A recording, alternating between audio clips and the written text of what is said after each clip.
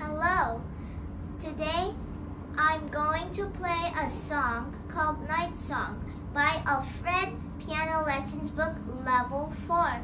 Please give me a like and don't forget to subscribe to my channel for next videos. Thank you.